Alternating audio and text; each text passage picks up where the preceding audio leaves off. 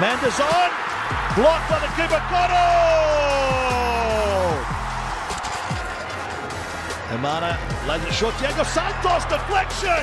What a fight back from Mumbai City FC against Steve Coppell's team. Jamshedpur. Oh, this will be a second goal. An easy tap in. Lanzarote.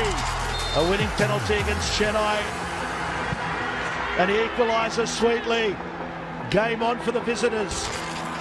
Balwant, onside.